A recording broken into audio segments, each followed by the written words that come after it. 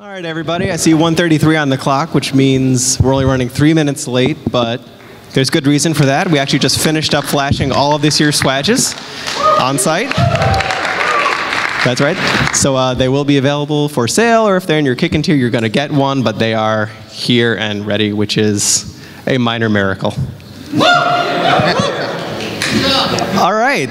So I am super hyped up on adrenaline right now. Uh, if I'm talking fast, yell at me. If I'm not making any sense, yell at me. If you want to, just yell at me. Love it. Uh, so let's get right in. Everyone here already knows what a Swadge is, right? No? He okay. There's a couple. So Swadge is short for swag badge. I didn't make it up. I've just been rolling with it. Uh, we've done it for a couple years. I actually see at least one of last year's over there. It's blinking around in a nice hexagon pattern. Um, they're circuit boards. They're fun. They usually have some sort of games, lights, you know, the kind of stuff that people at MagFest love. Uh, so this is going to be a, a short journey through this year's like the hardware that we did, and then we'll talk maybe a little about firmware, and then we'll do like a Q&A. Sound good to everyone? Yeah. Great. So let's start off with uh, this dev kit. This is boring looking. No one likes a rectangle and no one likes all those wires, but this is something new that we did this year. So I actually made this in, I think it was March, which is way earlier than we've ever started developing. And we basically had these dumb hardware boards so we can give them out to people to develop firmware on. So we basically we're trying to remove bottlenecks in the process. So we got started way earlier this year. Uh, a couple things to note here: uh, if you've ever used an ESP12F, there's some SPI lines on it. Uh, you think you can use them, but you can't. Those are internal SPI lines that just have pads, and if you try to twiddle them, the whole thing crashes. So don't. Uh, other mistakes I made here: the mic was on backwards because I was dumb, and it required a bunch of manual rework, including on the programmer, I crossed serial RX and TX. so uh, yeah, getting in there with an X-Acto knife under a microscope and doing a little bit of circuit surgery. But hey, once you fix it all up, it works. and from there, uh, we made DevKit 2, which is kind of like DevKit 1, except everything was in the right place this time. Hooray. And we also made Programmer too. So the Programmer is something new that we did this year also.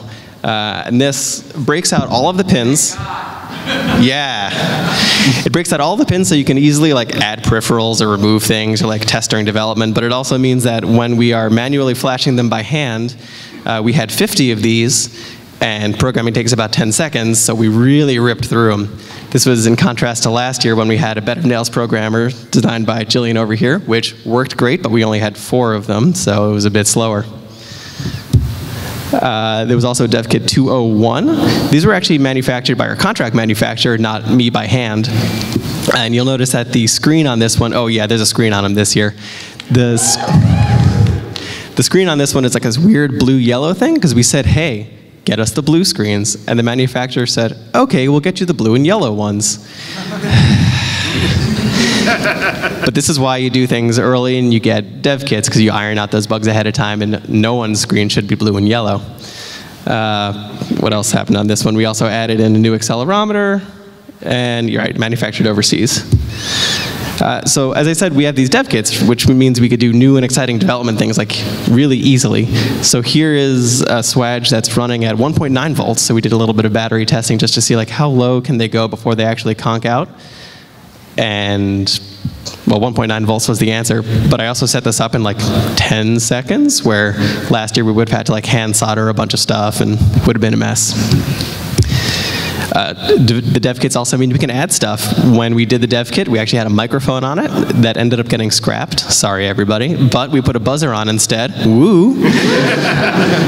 and we could prototype the buzzer, again, in like order of seconds, just with some jumper cables onto a breadboard. So after the dev kit was pretty much set, we learned that, hey, we're doing this kind of monkey theme this year. Let's make it not a rectangle, let's make it a barrel. So we had some barrels made up. Uh, this is bare for all the world to see. It's a little more exciting than a rectangle. It's not the final one, so don't, don't worry. Uh, and I actually messed up pretty good on this one also.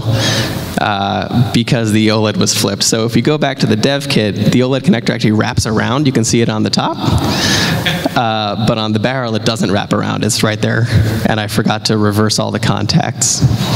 So to prove everything worked, you just had to solder it on backwards and then flip it up. Don't worry, the finals don't look like this. Again, this is why we do testing and development. Uh, the accelerometer was also sometimes flaky, even though that circuit didn't change, which struck me as weird and not good. Shadowing. Yeah, foreshadowing, right? Um, so, getting into a little more circuity here for those technical minded, and I'll try to breeze through this one, and you can ask Q&A questions later. Uh, the accelerometer talked on I squared C, so you have your data and your clock lines. And the difference between the dev kit and the barrel is that the barrel had these really long, really close data and clock lines. And if you remember your basic electricity and magnetism, when you put current through a wire and it's next to another wire, you can induce a current. So you get these weird little crosstalks you can see the clock signals on the top, and every time that it goes high to low, there's a little ripple on the data line at the bottom. That's not a clean signal. That's not good. And when you're working with very low cost uh, accelerometers with higher tolerances, uh, you'd see some problems. Uh, and so we ended up solving that two ways. One was to add some series resistors before the data and clock lines hit the accelerometer. And you can see here, I actually had to go in with an X-Acto knife, cut the circuit, scrape away the resist, solder it on under a microscope, and put it all back together. Um, and the other fix was to do some software trickery, uh, which Charles Lohr was in charge of, who is not here, but maybe showing up later. I think he was going on the battery run to buy you know, 6,000 batteries for these things. Um, but the, the short of it is that there was a couple harrowing days where the factory came back and said, oh, all of your tests are failing. And we said, well, that's not good. but don't worry, we got past it. And then we ended up with uh, barrel 103. So this was actually the first prototype final one we got back from the factory. It still works on the same programmer from you know however many slides ago. So we didn't have to redesign that or touch that at all. Uh, and we also put this headband over the OLED because um, it's made of glass, and two of the corners are actually way more susceptible to breaking in test. Uh, and actually, I'll let Jillian talk a little bit more about test on this slide. Yes, this this. So uh, this is Hagrid. Oh, that. Here, try that one. So this is Hagrid. Um, so he's uh, Tosa Inu, which it, which were bred to do the doggy version of sumo wrestling. He literally, it's there's literally a sport where they try to shove each other out of a ring. Um, so he has 100 pounds of I will destroy anything you attach to me. um, he was our durability tester. I made a bunch of different test boards up and um, tried them. We tried several different things, and we determined that the most cost effective, so the cheapest thing that he took a whole week to break was this headband that we have. So, uh, but he would destroy. If I put one on with no headband, um, he destroyed it in about 12 hours. Um, the headband lasted about a week until I still don't know what he managed to do, but. Um, so I'm pretty confident that uh, MagFest will not damage too many of them. if you swing your Swadge violently for a full week and break it, that one's on you. Uh, you can also notice you give it to my dog. That's also on you. Uh, you'll also notice that on this one we were actually testing uh, one of the different options, which was a full bezel. Um, it ended up just being larger, a little more expensive, and didn't offer better protection, so we went with the headband. I'll, so I hope you gave Hagrid lots of scratches for this and maybe a treat. Oh, yes. Oh, also, we made a banana. Uh, which is actually the same electrically schematic as the barrel. It's the same firmware as the barrel, but it is rarer and therefore cooler. So if you see someone with a barrel, meh. If you see someone with a banana, though, mm. Also incentive, I know there's some like kick-in tiers to get like bigger and better swag bags at MagFest. If you want cool stuff like this, you know, higher tiers. Uh, and Charles, the guy who did the uh, I squared C fix, also did the banana layout. So when he walks in, we'll give him a round of applause. And if he doesn't walk in, we'll clap for him later anyway.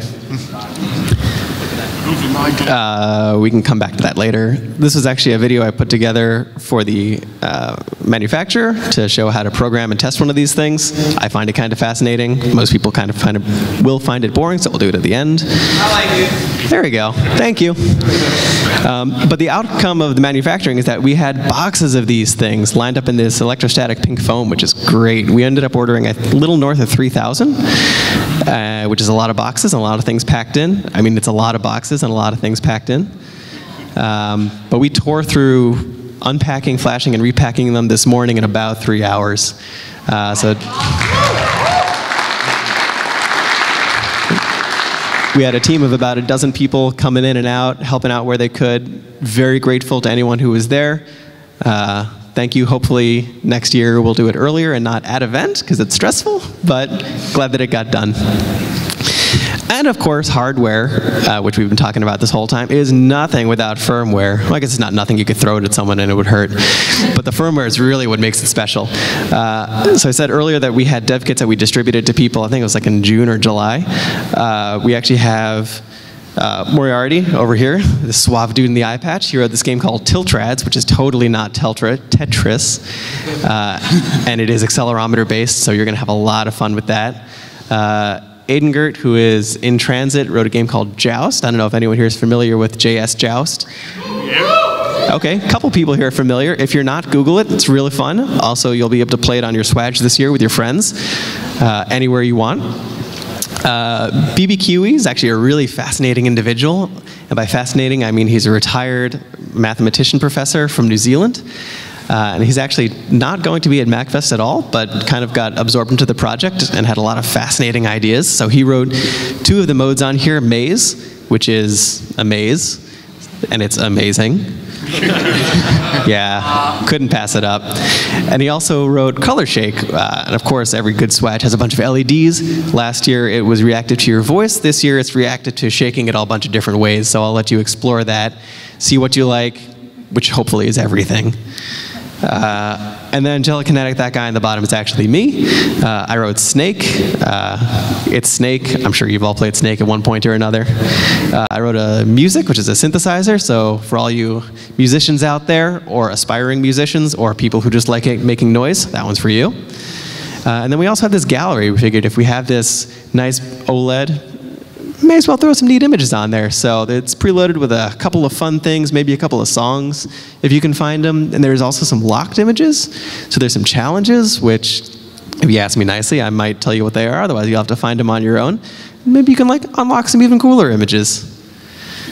Um, that's kind of what I had. I guess if I don't know if you want to talk more about Tiltrads at all. Uh, I mean, I can just speak to the I guess the the software process in general. So uh, I came onto the project uh, at a meeting that was happening during Magstock. Um, they were looking for people to help do modes, and uh, I thought uh, I found the last year's Swadge incredibly fascinating, so I signed on for it. They mailed me one of the dev kits with the uh, the programmers. I was able to set it up at my uh, office because we do some custom electronic work with the ESP. Charles works with me. Uh, eventually, he'll get back here, and like this will all come full circle. Uh, but um, it came down to you know setting my time. I didn't. I knew I had in the future, I'd maybe like to do a mode that's more um, original in its design, but they had been looking for someone to get something together quickly that was legally uh, distinct but resembles Tetris, controlled by the accelerometer.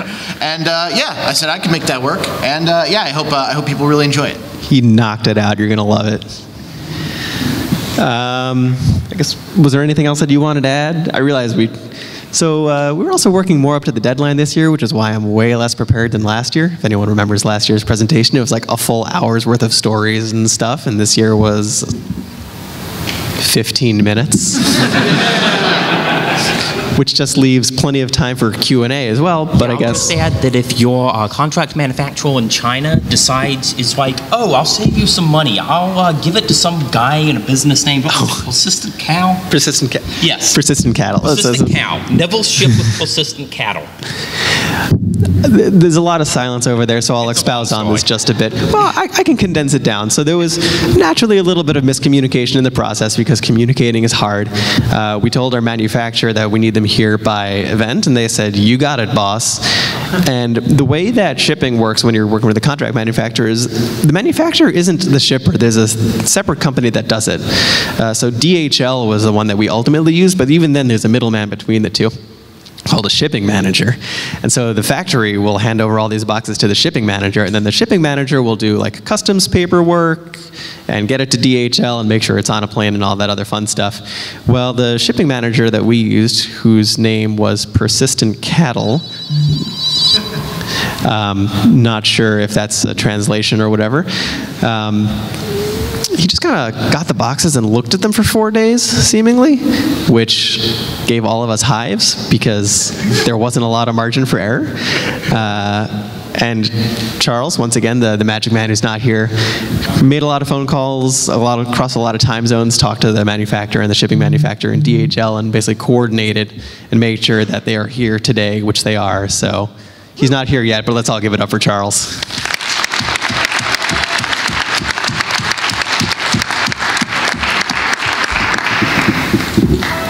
Uh, do either of you want to talk for like another five minutes? I got a Dak just called. I'd like to reply. Yeah, of course. Uh, I, I just wanted to take a moment to shout out. Um, so one of the things about us having a buzzer this year is that we could do music, and I'm I'm a programmer, and the great thing about these is that graphics for this is just drawing lines and recs, and I, and I can make that work. but um, music is not something that I can do. So I wanted to shout out uh, my friend uh, Dan uh, Dan Solo Austin. Dan Austin is um, a, a musician. Uh, some of you may know him. He's a, a streamer uh, under the uh, banner group, the ROM Runners. Um, and he uh, went above and beyond to get me some really good music really quickly, including like my, quite frankly, absurdly unreasonable request, which was, "Hi, I like 80s synth for this mode. How do you do that with one channel?" And then he just sort of like dot dot dot uh, over me the channel. It's like, yeah, okay, I think I can make that work, and uh, I, I, hope you'll be as uh, you'll be as pleased with the results as I was. Um, in terms of, uh, I guess, just general software stuff. Um, honestly, what was great about uh, the the workflow this year was that we we had the the underlying basics of like the code base to work into. Like everything, like hooking into the mode was super easy. Um, I ended up starting the work for my mode. Uh, Charles has a uh, a cabin that he sometimes retires to do work in, and he will invite people over to uh, to suffer his madness. and uh, we uh, ended up getting started on it there, and um, the the, the whole process was just honestly pretty fairly smooth. That being said, I kind of knew I had to set a goal about uh, November, December, my uh, company starts doing a, a, big arcade trade show called IAAPA, and so I knew I had to have all my stuff done before then. So uh, I think, like you know, obviously about you know a month and a half before things get going in earnest, I put up a message channel. It's like, this is the version that's done. I have to go now. Good luck with everything else. um, so yeah, I mean that's uh, that's that's pretty much my experience with tilt Did you have anything you wanted to, to add or to speak to? Um, just that we, we wanted, I'll go back and talk a little bit about the uh, design process that we had um, all along. We knew that we wanted to do something different with the with the hardware. Um, last year we really focused on. Last year we really did. Um, we really focused on the LEDs and the microphone is kind of our key key features. So we were looking at uh, what other hard, what other hardware can we put in, what else could we do, and we made a list. We tested a bunch of things. I even had a prototype that I don't have here with me of fitting a full-size uh, 28 millimeter arcade button into a Swadge, and I still like that, and I still hope we can do that someday. but um, basically, we boiled we boiled down on that list and we found, hey, the accelerometers, we can afford them. There's a lot of cool stuff we can do with them. Uh, Joust was actually the original driver. Um, we thought it would be cool to be able to do Joust with Swadge. So um, that that was pretty much the thought process there. On the screen, Willie, we, we looked at it and we said, hey, there are a few things we can do. Sometimes people ask, could you use, could you have used the ESP32? Um, if you're on the technical side, much more powerful processor. We pretty much, we could choose either to go up to that, or we could really push the limits of the 8266 and have a screen. It's amazing that those little LED screens have come down to the point where we can afford to put one on the Swadge. Um, really, really excited about that. That that was our key, um, our key piece, and really that brainstorming. I mean, we threw out like, wouldn't it be cool if it was a banana? And like, no, we'll make it something practical like a barrel. And then Charles goes and says, ah, I'll design the banana. So we made bananas. Um, we already have some crazy ideas for next year. Um, I'm really loving the uh, two shape, one Swadge, two shapes, make an extra crazy one. So looking forward to seeing people. Um, also, we are aware that it's not ideal for the panel to be before you guys get your Swadges. That's unfortunately how it worked out. Uh, we're definitely going to try next year to have it a bit later in the event so you guys can pick yours up. Um, that's the main things I have. Do we want to take questions or? Um, Andrew will be back in a few minutes. He had to go deal with a little uh, finding the palette uh, so they can actually get to the expo hall. So I, I, yeah, let's, let's do questions. Uh, Are there any questions? Yes, you in the back with the hat. What's the, what's the uh, circuit board program in? Uh, The circuit board is programmed in C. Okay. The, um, the firmware is programmed in C. The circuit board we design in KiCad. So, what was one of the biggest pitfalls as you as you were working through, through like some of the dev kits? You know, I think the biggest surprise pitfall for us was that the signal path issues with the I2C bus got worse as we did. So we had it debugged, we had it working in with the dev kit, we solved the dev kit signal issue. Then we get the prototype one. Um, there was another prototype one that wasn't in the presentation um, of badges, which is why I have a slash yellow. Um,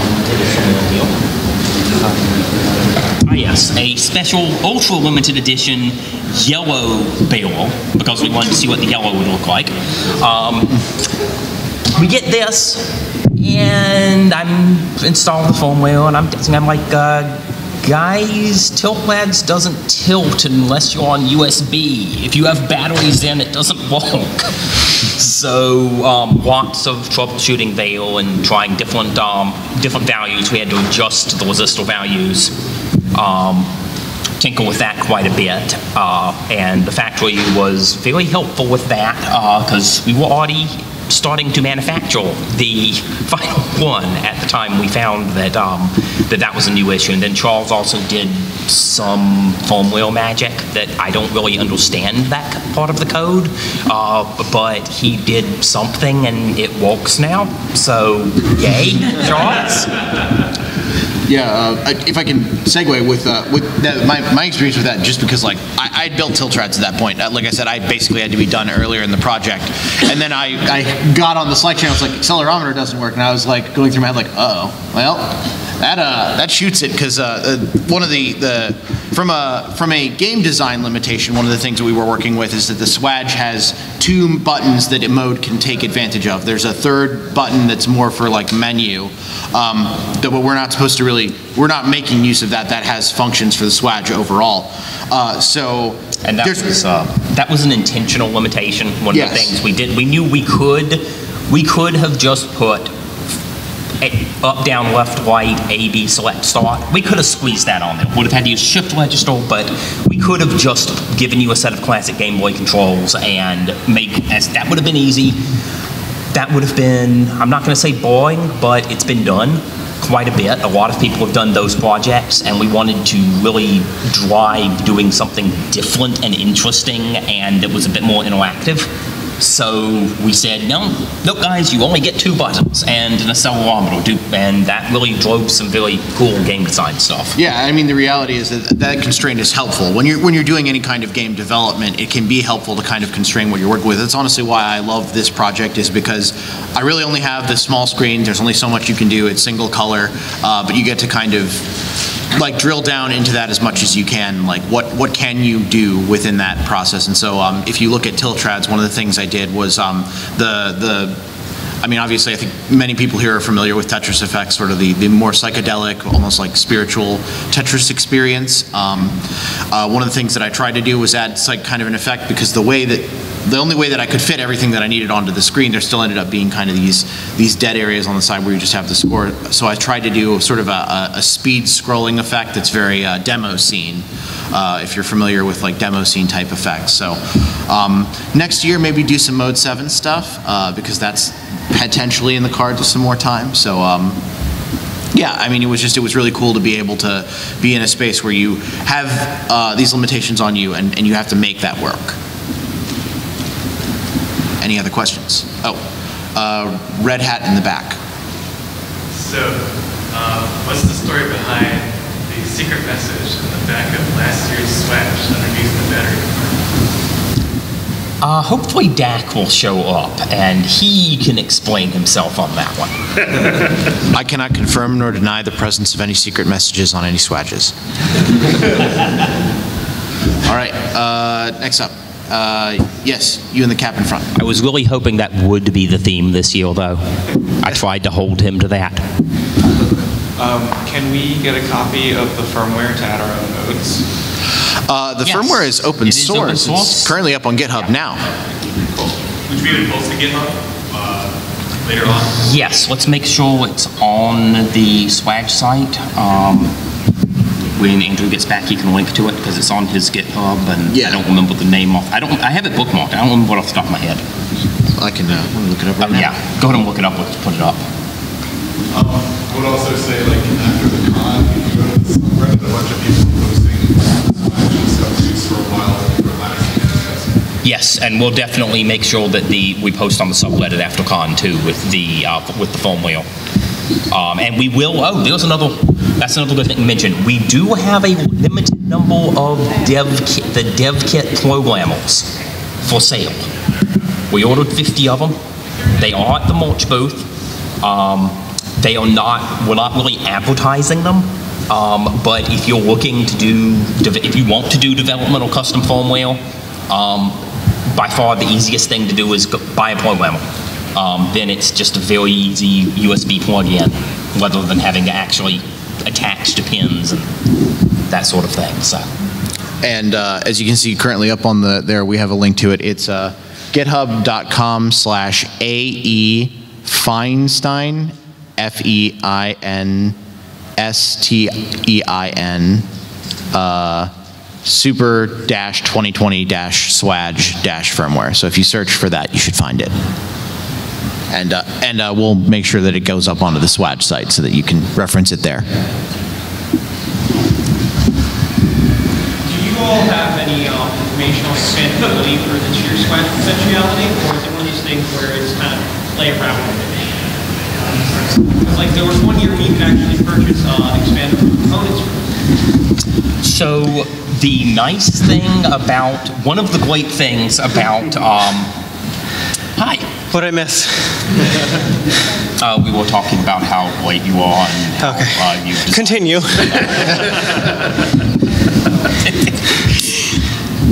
So, yeah, the um, th- that connector, it's actually a PCIe connector. One, two, it's a single lane PCIe connector. Don't plug it into your motherboard. We haven't tested that, but it will probably break something. It doesn't use the PCIe pinout, just the shape. Actually, if you do plug it in, be sure to take a video and post it because I, I think that would be hilarious. But don't do it on the computer. You can't. Yeah, Swag. be sure to take a video of it, but do, we are not liable for anything that happens. Let's just So go ahead and that- clear the so air there on is that right now. So there is that port, and if you wanted to design an add-on or a peripheral, um, it, it is possible to use that as an expansion port. I think of it like the expansion port on the bottom of the original NES. It's this really cool connector that can do all kinds of things, and probably nobody will ever do anything with it. But um, hopefully, you know, I would I would love to make I'd love to make expansions. I'd what I'd, I'd really love to see somebody make an expansion and show up next year with uh, their own add-on board plugged in there. Uh, all the pins are exposed, so if you the easiest thing to do would be if you had like an I2C, um, another I2C peripheral, just throw it on those pins. Um, and it should you should be able to read it out, just connect to it just fine from from that pin out. And I don't know if it's been mentioned already, because I literally had to run this wedge down to merch. Also a little out of breath. Uh, we do have some extra programmers. Um, we plan on putting them up for sale, but I'm not sure how at this point. The easiest thing, if this is something that interests you and you want to hack around with it or join the team, send an email to the email that's up there, circuitboards at magfest.org. Can't promise we'll get to it at MagFest, but I will get back to you.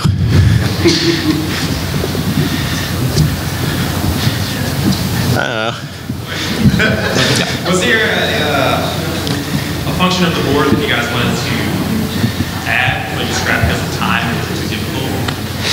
So the dev kit originally had a microphone, which is what we had last year, and we figured like, oh, we'll just add more stuff and not take anything off. The microphone to be able to sample it at a clean uh, 8 kilohertz, you know, enough to get some interesting information out of, used a hardware timer, not a software timer. There's only one of those, maybe two of them, but one of them that was available to us on the ESP. The buzzer this year, if you want a nice clean tone, also has to run at a very specific clock interval. So we ended up using that hardware timer to drive the buzzer instead of pull the microphone, which meant no microphone. Would have been nice, ran into a hardware limitation. Not sure what we would have done with it, but uh, that's something that we ended up cutting. I think that's the only thing that we cut. One of my favorite features from last year was the cheat code that was implemented. Uh huh. Like patterns. Yep. Giving away specifically, was there no meaning stuff in this one? This one? Yes. So I, no, no, that's not. I, so I did mention before that there are some unlocks in the gallery, um, where if you complete certain challenges on the games, you'll unlock images. There may or may not be a way to circumvent that. Um, I'll leave it up to you. But one other thing I will mention on that that is out of the box is one of the little bits of code we, we used. Uh, there's a screensaver mode um, that it goes into when it's idle at the main menu, which is the white dances from Bastion. We just took, took that white dance code and put it in. So it'll start randomly doing the white dances when, you, when it's idle. So just if you just want to land in, in an attract mode, um, it'll kick that on if you just leave it on the main menu and let it sit for a minute. Um, that's, that's just a little extra thing we threw in. It's kind of a screen saver. I don't think it actually saves the screen. Yes. Y'all just maybe think something else. Uh, is there any backwards connectivity between sweats or years of each other? Uh, not as of yet. Uh, Not for, we have not implemented that in firmware. Right. If you wanted to write custom, actually, no, BB we did um, for testing, actually. Right. So the hardware is capable of it. We do not have this, the games are different this year, so they can't. But if you did have this, Yeah. if you decided to make your own build of the same game, the hardware is able to talk to each other. And it's possible that in a future year we'll do something that's able to talk to Yeah. previous year. So- Just, but this year the software is all new, so there are no games that are the same between them. But the hardware is certainly capable. Well, the software is not entirely all new. The the connection code that we wrote for last year's Reflector game uh, was reused for Joust. Uh, it was actually it used to be part of the game, then it was separated out and refactored into a separate software module. Uh, to test this, I did have some of the new stuff running on an old Swadge just to make sure that it, I didn't break anything in the process. So it is definitely technically possible. Um, wasn't written into the spec. It requires a lot. It basically requires us now to know what we're doing next year, and we barely know what we were doing a week ago. So, This is also fun when um, I, I built the firmware one day and I was like, uh, hey, Andrew, uh, the firmware's suddenly not turning all the LEDs on. And he's like, oh, you need to set this environment variable because I added something to the make file that, tell, that tells it which one, and you have a newer dev kit than the one it assumes. Work, working on teams is hard. I learned a lot about uh, people and management and specs and expectation through this project, more so than I learned technically. Uh, it, it really showed me how much I'm an idiot in so many ways. Uh, all right. Sorry, That's fine. You, you, you got your hand up. I mean, I'm going to point at it. Uh, did you learn a lot from a technical aspect from going through this project? Uh, I learned a little bit. So I, I came in with a pretty strong technical background. Um, I write embedded microcontroller firmware for a living, not on the ESP platform. So there were some ins and outs of the ESP uh, 8266 that I had to learn.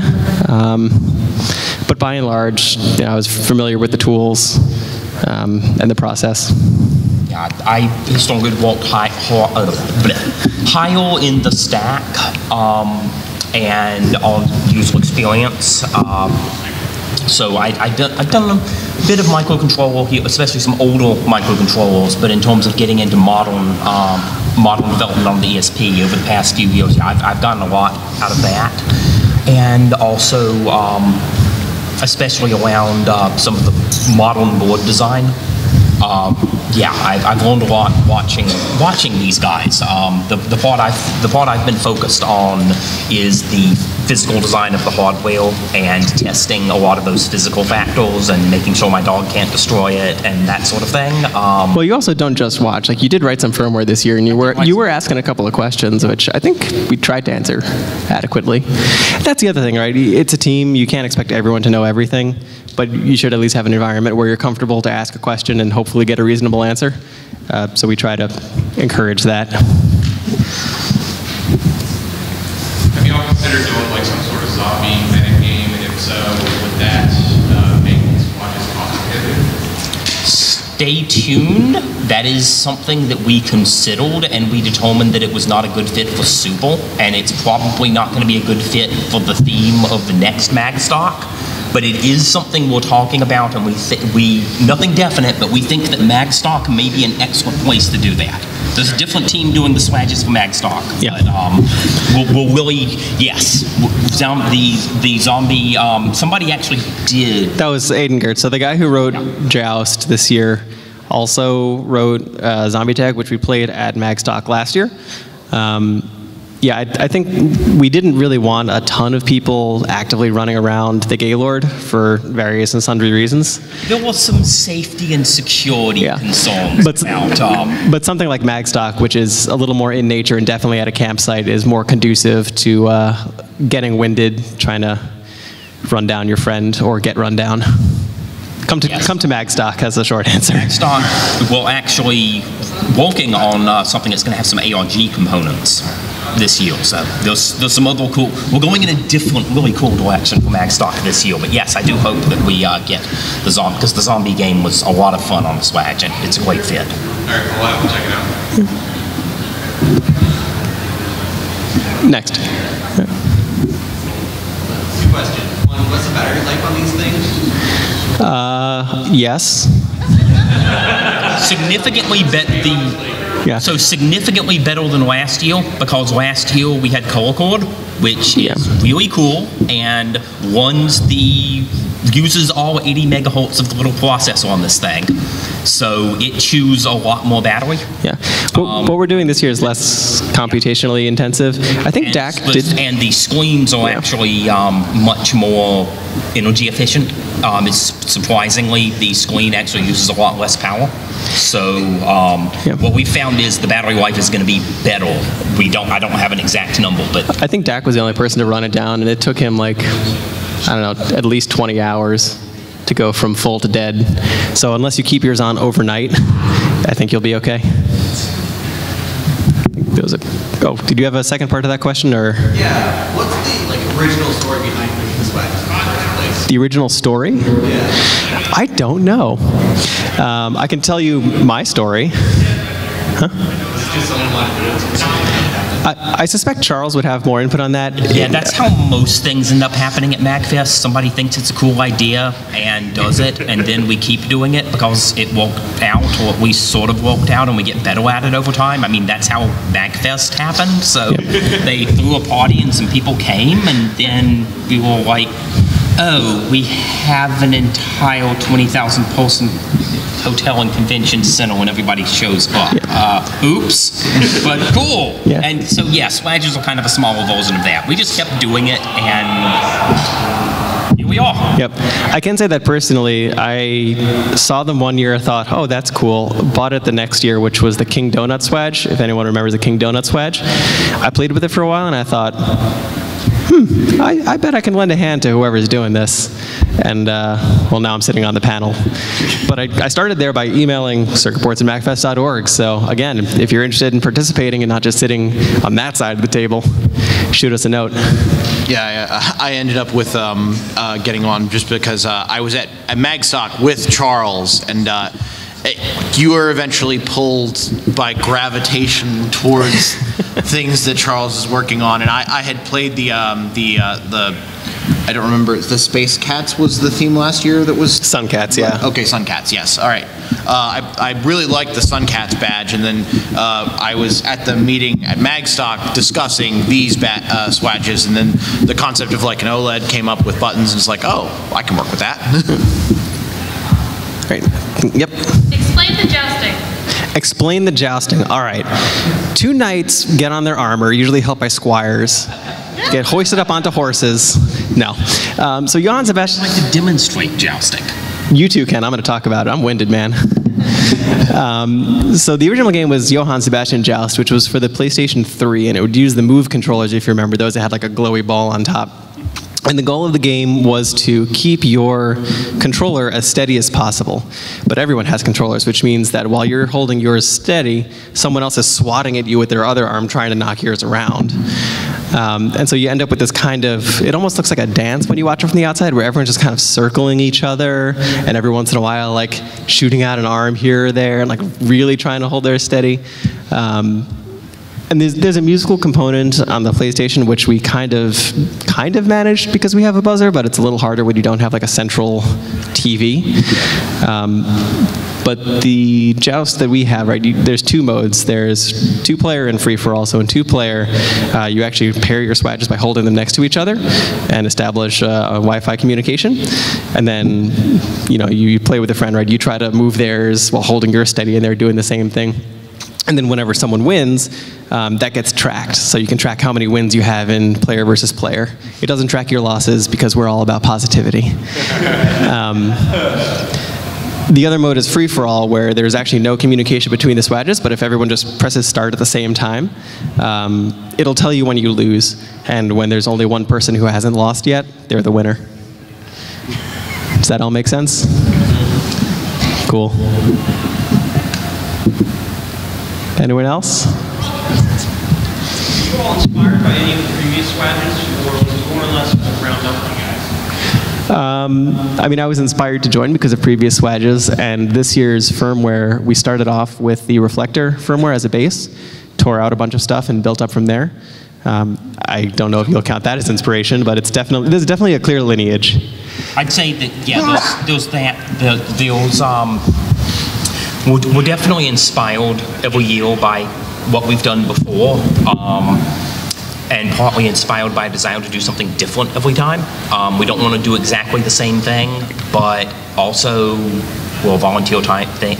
The volunteer team. This is a lot of work, and so we do look to reuse what we can. So in terms of the framework, the heritage, um, the ESP8266 is just a really great platform for the price point and functionality point we're at.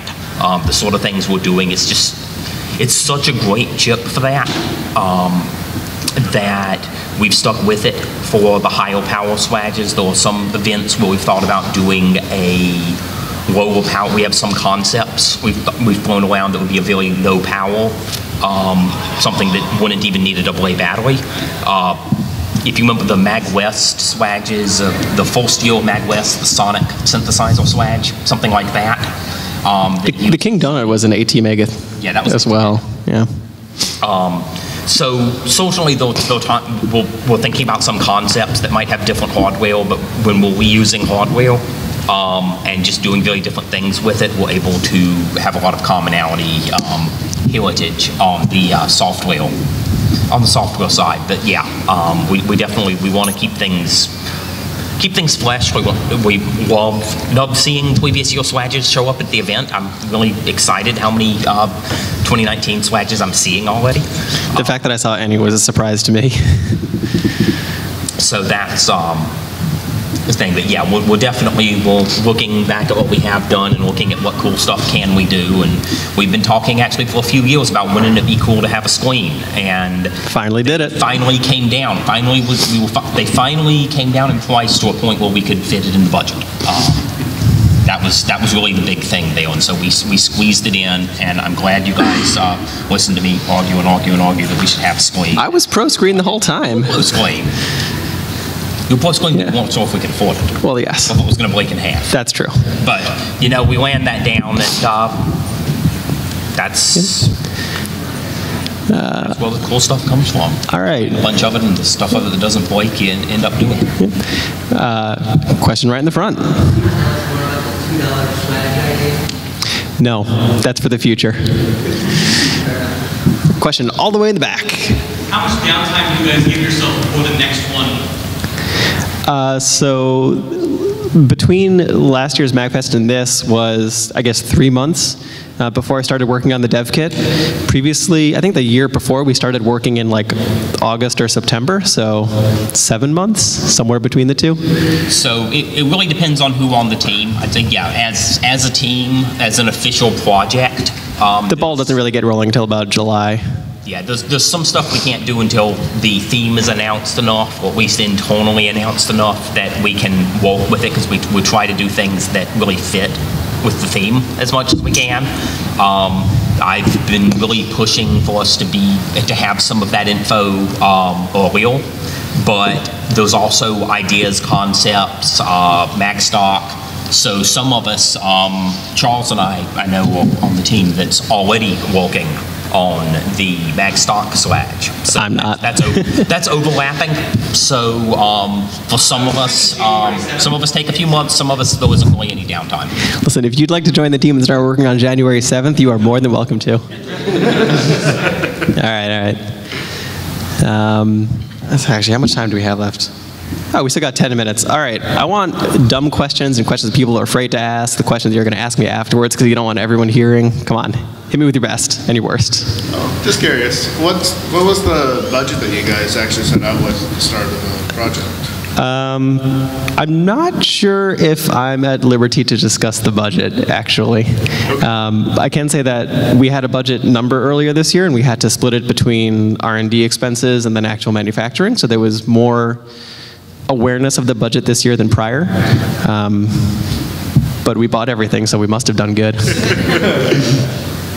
And the other uh, I'll- there was that the budget for the budget for this year and for last year's Swadge was similar. So the differences in functionality you're, you're seeing, um, it turns out one of the key takeaways for me from last year do, it was that adding any kind of case, adding that plastic diffuser, um, that costs enough that we were able to get rid of the plastic and do a screen instead. The plastic diffuser was also hugely labor intensive. Compare that, I think last year we had a team of like 12 to 16 people working two Saturdays at about 10 hours each to put them all together. It was really cool and we're never doing that again. Yeah, and, and this year, again, we, we did everything in about three hours right before this panel.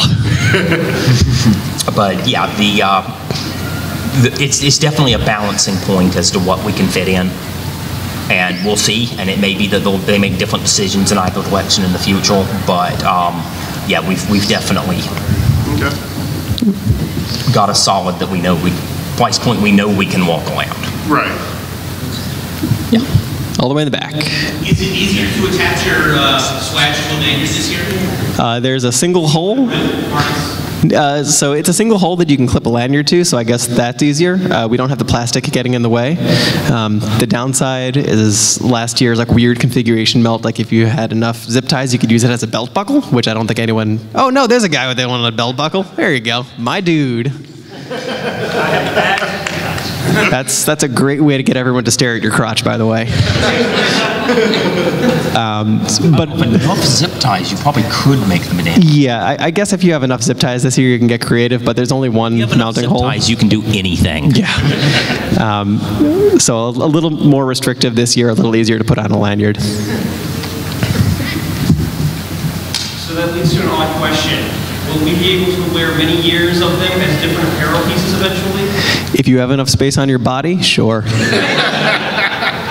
I can't wait until we have like the sternum piercing Swadge. It's the Swadge suit. Spoilers. Oh, sorry, no spoilers. You didn't hear that. Ultimately, that's up to you. Wink, but it's on my eye that's covered. So I guess don't maybe obvious answer. Well, answer this one. It was all written in C, but why didn't you do it in assembly? Ooh, that's a great question. Why didn't we do it in assembly? And actually, there was a little bit that was done in assembly. You weren't expecting that, were you? Um, You know how I was saying Charles did some crazy stuff that made I2C wall? actually, he undid the assembly. So He undid the assembly? Yeah, so no. So initially we were using um, an assembly source code from I think a, someone in like Belarus or something, which would drive the I squared C lines very fast because assembly is very fast. Um, and it worked spectacularly on the dev kit and then started to fail when we ran into crosstalk issues. Um, so up until about a month out, there was a decent chunk of assembly as part of our source code, and then Charles replaced that with some weird looking C code which magically works, uh, and I just left it at that. So to answer, to, so to answer that question more generally, um, C was a sweet spot for developing um, against this platform. Um, it's high level enough, especially with many of the libraries that are available, and it's what the open tool chain for the ESP is in. Um, I there are higher level languages that you can program in. We lose too much performance there. Uh, like micro, there's MicroPython, and that Yeah. makes him make a face whenever I bring it up. But uh, we lose too much performance there, and assembly. It would be really cool if somebody made a like demo scene firmware Yeah. that was pure assembly. But um, for the most part, actually speaking with demo scene stuff, I did do a demo where I really smashed the Shrek movie down far enough that I managed to fit Shrek on the Swadge. Um, it, it's a potato pointed at a potato filming another potato, but it kind of fit. Now I had to take everything off, else off to do it. But uh, yeah, I'd, I'd love to see somebody do some uh, crazy demo scene stuff. But in terms of the effort that we have, the, the C was framework was a good good middle ground. And for even a little more context, there is an RTOS package for the ESP where you can do your RTOS in C. Uh, we don't even use that. There's too much overhead in the RTOS. Um, we want bare metal control as much as possible. We want to know everything that's happening all the time. Um, and I actually had to go in this year to the linker file and readjust the section sizes because there was too much stuff. Um, so there was a decent amount of fiddling just to get everything to fit. Um, so we're, we're running up against that limit, which is exciting. Silly question. Good. Silly answer. Small pasty sweaters, yes or no? Yes. or big ones. You got a video about testing your hardware? Oh, right. Yeah, sure. Well, Like manufacturing defects? uh, yes. Here. Well, you know what? We'll just run it. We got two minutes. That's a great thing to close out. Uh, if there's sound. Should be sound. Should be and is are two different things. Uh, Are you outputting on your HDMI? maybe? Oh, did you plug into the other? No. Oh, plug it in. hold on. Hold on. There's a process. Standard Q and A. Yep.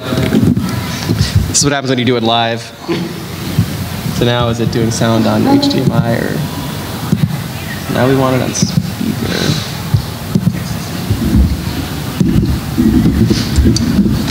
Oh, hey, it's Charles. Hello. I'm not sure what they told you guys about me. It was all good. Everything. Okay. Okay. I don't know where the sound is or where it's going. Um, we'll watch it without sound and maybe I'll say some words. Which is even more exciting than before. So, right, so this is the programmer and this is how you set it up. There are a couple of switches uh, which are useful for development, but if you're programming it, you wanted to have it on, you want to have it in 5 volts, and you want to have a jumper between ground and SCL, which forces the switch to boot into programming mode, not boot into normal mode. Uh, there was also a jumper behind it that was there for power reasons. Um, this board was red. There was another one that was blue. I'm colorblind. Uh, is this video not actually playing? Now you just were talking for quite a while on that point. No. Apparently, I was talking for quite a while. Ugh.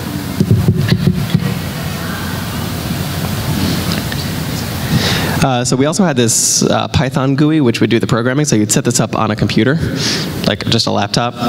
Um, and then you had to make sure your Swadge was running on USB power, not AA power. And then all you would do is plug it in. And that was the Wacko one that had the screen on backwards, which is why it's all tilty. Uh, the LEDs would flash kind of disco for about 10 seconds or so. You'd get a little green notification that you flashed, and that was pretty much it. And then we had uh, test mode firmware, which hopefully no one gets. Uh, if you do, uh, track us down, I guess, in stops or something. Uh, but we had a little spinny banana just to prove that the OLED was working. The LEDs would go around in a circle. It's playing a song now, but you can't hear it. It's Black Dog by Led Zeppelin, which is one of my favorites. Uh, and it would display the accelerometer data on the screen as well. So if you give it a tilt or two, um, it would respond. Playing YouTube muted it for copyright reasons. You know what? That's probably what happened, yeah. oh, and when you press the buttons, it would draw buttons on the screen just to prove that it worked. Uh, so somewhere halfway across the world, there were some assembly workers who would plug them in, press some buttons, give it a tilt, and then throw it in another box. And that guarantees that we get 3,000 working Swadges and not 2,500 working ones and 500 busted ones. Um, if you email politely, uh, I will send you a link to that video. I think it's hidden on YouTube at the moment. If you really want to hear my voice again, um, I wouldn't recommend it. Uh, all right, we've got two minutes left, so I guess if anyone has a question for Charles, or you just gaze upon his magnificent beard. Uh, I'm curious, how much of the story did you actually tell of how these things got here? Uh, we talked about persistent cattle. Okay, good, good. Yeah. Uh, I I guess the one thing which you guys probably didn't know is that this morning um, we basically. So what we'd been doing is we were tracking the flights based off of the departure times and like searching it so we would know where the packages were at any given time.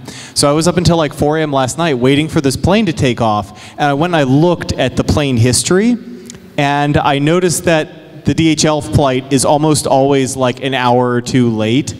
And I was like, okay, I'm just going to go to bed right now. And so I woke up, flight was already in the air, actually, it was already landing, uh, went to DHL. I actually had to get my, my dad came to DHL with me and we loaded all the things up. We headed straight down here.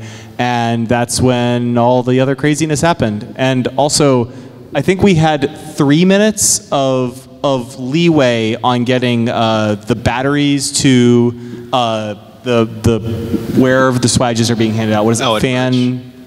The merch, yeah, getting the batteries to merch. That was crazy. Okay, I'm done. Uh, all right. I see a wrap it up sign over there, so we're going to wrap it up. If you have any other questions, I'll be hanging out out front. You can ask me personally. Email circuitboards at magfest.org if you want. You've been a great audience. Thank you. Good night.